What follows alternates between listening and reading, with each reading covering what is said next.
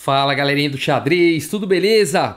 Pessoal, de todas as histórias que eu já tive conhecimento a respeito do xadrez, essa história que eu vou contar pra mim é uma das mais intrigantes aí é, que eu já ouvi. E a história conta o seguinte: por volta ali do ano 2000, começou-se um boato, né? Começou-se a espalhar um boato de que o Bob Fischer estaria supostamente é, jogando na internet, tá bom? No site ICC, que na época era o, o site mais popular para jogo de xadrez online. Ah, e a lenda corria que ele entrava lá como um convidado, então é, sem ter um perfil, sem ter como ser rastreado, né? Entrava lá como guest, que é o termo em inglês para convidado, entrava lá como guest e começava a desafiar lá os grandes mestres, os jogadores de rating mais alto é, para jogar e dava uma surra é, nesses grandes mestres, muita vez, muitas vezes fazendo aberturas esdrúxulas e tudo mais. Então corria-se o boato de que só poderia ser o, o Bob Fischer, né? É claro que em meio a esses boatos, muita gente também suspeitava que poderia ser alguém usando um computador. Na época ainda não existia computadores tão avançados como um Stockfish, é, né, é, Lila Zero, computadores como de hoje em dia não tinha, né, os computadores eram bem mais fracos, mas enfim, suspeitava-se de que poderia ser alguém usando, né, o Fritz já era bem forte, né, é, o Tiger, se eu não me engano, também era bem forte na época, é, enfim, né, então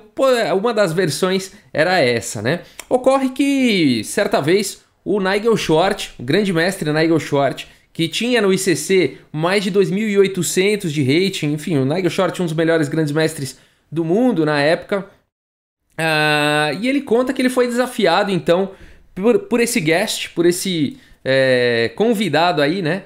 E o guest, então, começou a jogar partidas contra ele e fazendo aberturas esdrúxulas e tudo mais. E quando o Nigel Short percebeu, as jogadas eram fantásticas, eram surreais.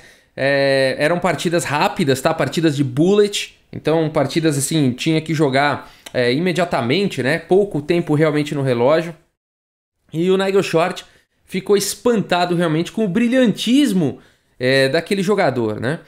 E o Nigel Short mesmo quando foi entrevistado, enfim, essa história se tornou veio a público e tudo mais e foram entrevistar o Nigel Short e perguntaram: "Você realmente acredita, né, que que era o Bobby Fischer?"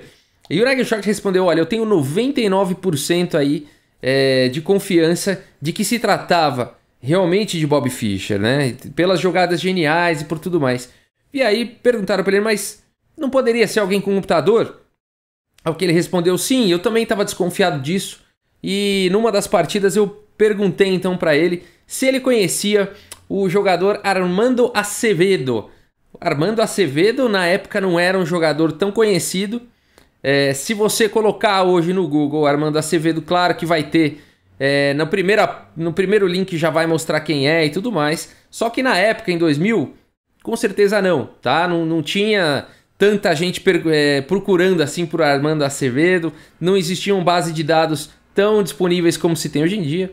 Mas o fato é que a pessoa imediatamente respondeu Sigen 1970, é, que foi o torneio no qual o Bob Fischer jogou contra o Armando Acevedo. Foi o torneio da, de, de Olimpíadas é, em Siegen, no ano de 1970. Então a pessoa imediatamente respondeu isso e o Nigel Short tomou um choque é, com a resposta e imediatamente reconheceu ali, além do tabuleiro, de que se trataria de, de Bob Fischer.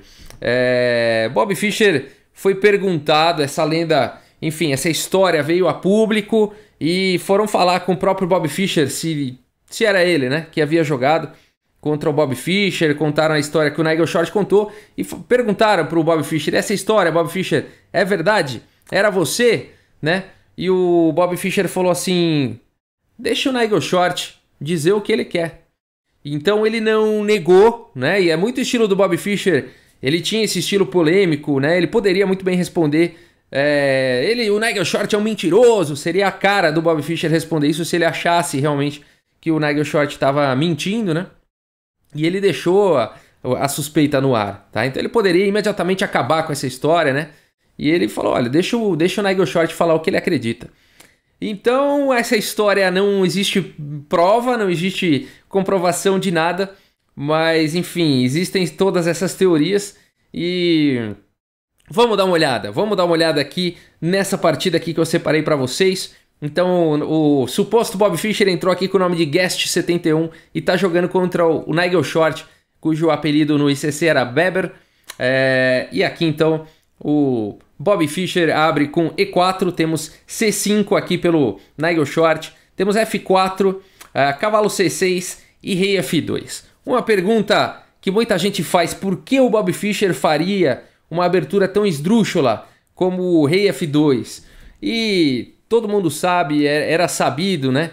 É, o Bob Fischer ele era um dos grandes críticos da teoria, né, de aberturas. Ele falou para ele, ele reclamava. Eu já vi entrevistas do Bob Fischer falando disso. Ele falava o xadrez acabou quando as pessoas começaram a ter equipes de analistas é, para estudar aberturas e tentar ali destrinchar nas aberturas. Ele era um grande, é, ele, ele, tanto que ele inventou a, a variante Fischer de xadrez né, que tá para inclusive ser aprovada pela FIDE. Vamos aguardar aí a modalidade Fischer, aonde a primeira fileira, aqui as peças são organizadas de forma aleatória. Você pode jogar isso inclusive na internet, a variante Fischer de xadrez nos principais sites. É, você consegue jogar essa modalidade, onde na primeira fileira a organização das peças são aleatórias. Na segunda fileira continuam sendo os peões. Tá? Então é uma modalidade que o Fischer inventou exatamente para acabar com essa história aí de teoria, de abertura e tudo mais, e para realmente ter o xadrez no tabuleiro. Seria então a razão pela qual o suposto Bob Fischer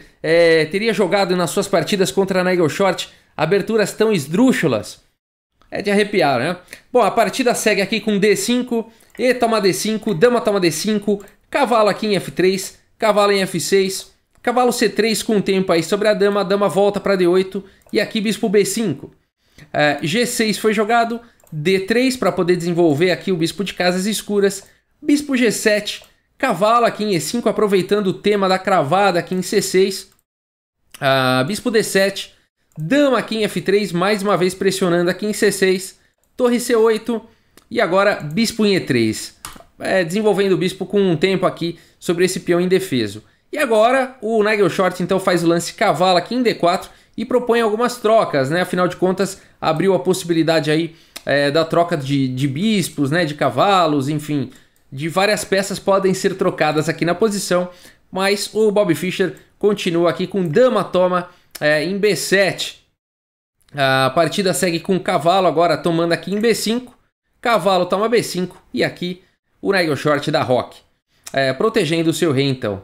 E a continuação é cavalo, toma aqui em D7, e agora o Nigel Short é, recaptura aqui o cavalo com o próprio cavalo, Torre de A em B1, defendendo aqui, portanto, o peão de B2. Aqui continua-se com E5 e agora A4, né? Então, já avançando aqui com um peão, quem sabe se esse peão de A7 cair, o peão da coluna A começa a ficar bastante perigoso.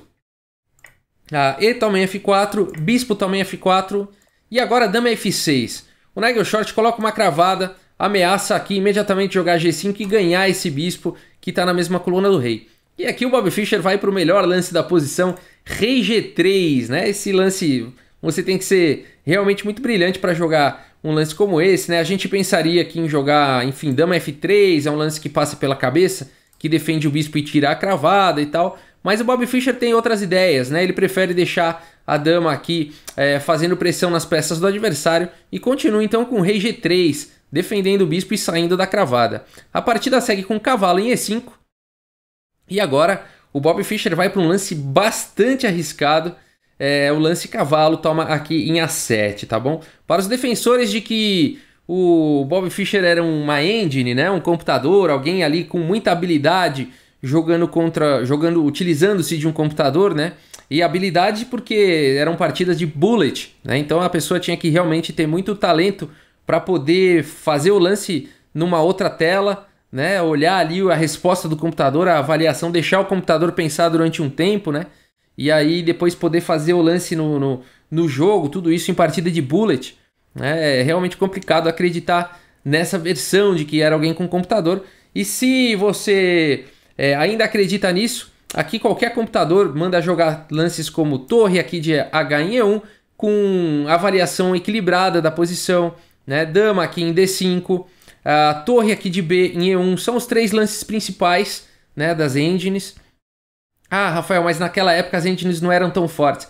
Tudo bem, essas são as três primeiras escolhas. Pode ser que desce a quarta, a quinta. Agora, o lance jogado aqui pelo Bob Fischer vai de uma pontuação zero de avaliação para uma pontuação de menos 6, tá bom? Então é o que é consideraria um blunder. E, é, e aí entra o, o, paradoxo, né? Será que essa engine que faz um blunder de não é um erro grosseiro, que faz a avaliação de uma posição cair de 0 para menos 6, seria capaz de vencer um grande mestre jogando partidas bullet? Então, tá aí, né? Isso aí me parece muito mais um erro humano, né? Do que uma jogada aí de computador. Bom, aqui então é um blunder porque as pretas poderiam castigar aqui com G5, tá? Então aqui G5, bispo D2, a torre aqui de C é, em D8, enfim. E aqui a posição fica muito difícil aqui para as brancas. Se voltasse aqui com dama E4, por exemplo, ah, tem torre entrando aqui em D4, né? Aqui a posição é completamente vencedora já para as negras. Vai fazer o que com essa dama aí? Vai voltar onde para E2 aqui? Tá levando torre G4, né? Então aqui é complicado, teria que entregar a dama aqui. É, porque se jogasse rei aqui em H3, dama H6 seria checkmate, tá? Então, é, o Nigel Short, claro, uma partida de bullet, não viu isso, mas nenhum computador jogaria um lance que perderia com checkmate em, poucos lances, né? A partida seguiu então com dama F5, o Nigel Short não soube castigar esse lance. Uh, e a partida segue com dama E4, dama G4 cheque, rei F2, é, torre em A8 atacando aí o cavalo. E agora Bispo em E5 aqui pelo Bob Fischer, simplificando, propondo aqui a troca de damas, também trocando, trocando aí algumas peças e levando a partida para um final. Dama toma E4, D toma E4 e agora o Nigel Short pode escolher que peça que ele quer capturar, ele prefere capturar o bispo, já que é, fica numa posição aberta, os bispos são superiores aos cavalos em posições abertas. É, cavalo C6 atacando aí o bispo, o bispo volta para F6 e agora E5. É, o bispo está atacado, bispo aqui em G7 e agora B3, defendendo aqui em A4, tirando o peão de uma casa escura, liberando a torre para poder brigar aí pela coluna D, torre de F em 8, e aqui ao invés de defender o peão, o Bob Fischer vai para a ideia correta, é, domina a coluna aberta aqui com torre de B em D1. É, torre E6 e agora torre aqui em D6, propondo a troca e a criação de um peão passado perigoso. É, torre de A em E8 e agora torre de H em D1, dobrando então as torres na coluna D. Bispo toma em E5, torre toma em E6, torre toma em E6, cavalo toma em E5, torre toma em E5 e a gente tem um final aí de 5 peões contra 4. No entanto, o peão passado, né? Difícil de segurar, essa torre poderá dar suporte para o peão passado, só que nem precisa agora, já dá para subir direto com esse peão aí, é, com A5. E depois de C4, então, atacando aqui o peão, B4. E nessa posição, o Nigel Short abandona a partida, né? São dois peões passados e conectados, não dá mais para segurar, né? Esses peões vão avançar, vai ter que ser perdida a torre aí em algum momento, sacrificar a torre e é um final vencedor aí para as brancas, né? Para o Bob Fischer. Então essa partida assim é uma das tantas que eles jogaram, tá? Eu acho que eles jogaram é, em torno aí de 50 partidas. E eu, eu vou confirmar depois o número certinho, né? no próximo vídeo eu confirmo isso para vocês, tá? se é que existe esse número certinho. É, muita, muitas, muitas histórias, né? Muitas versões dão para essa história, né? Muitas versões existem para essa história, né? Muita gente tenta é, provar que era uma engine, provar que era o Bob Fischer, né? Então é muito interessante. O fato, né? A gente não, nunca vai saber a verdade aí, né? Você pode defender um lado ou outro, tanto faz. Somos livres, né? Somos livres para termos aí as nossas próprias opiniões né? Sobre tudo, não só sobre xadrez. E vale o respeito, né? É, o respeito de, de, de, respeitar a opinião de cada um. Você pode discordar, né? Mas é, respeitar é que é o bacana, né? Então, e é uma boa história, né? Independente do, do que é, é, se era o Bob Fischer ou se não era, é uma boa história. Se você me perguntar a minha opinião, é claro que eu acredito que era o Bob Fischer, mas eu respeito toda e qualquer opinião. E o que eu gosto com essa série aqui não é provar que era o Bob Fischer, nem nada disso. É apenas a gente se deliciar aí com uma boa história, tá bom? Pessoal, muito obrigado aí pela audiência, um grande abraço para todos vocês e até a próxima, pessoal. Valeu!